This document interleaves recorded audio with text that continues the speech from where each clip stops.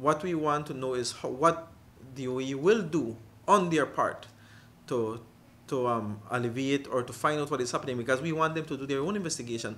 Have they done it? I don't know. That is what we will find out um, on on this meeting that is coming up, and of course solutions, um, ideas from the general public. At the end of the day, we know that the department doesn't have all the resources it needs.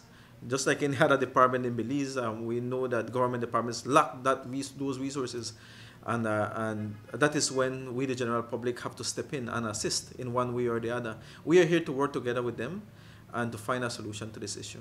We don't want it to repeat again next year Hipolito, and that is the reason why this year i would say that um, we have been pushing um, together with the other ngos we want to ensure that the department of environment is doing their job doing their checkups and being proactive instead of reactive. In this case, we are being reactive. If we see improvements, then we know that we're moving in the right direction, right?